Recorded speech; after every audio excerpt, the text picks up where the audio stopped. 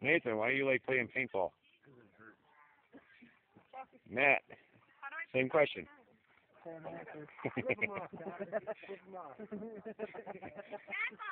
Stumpy.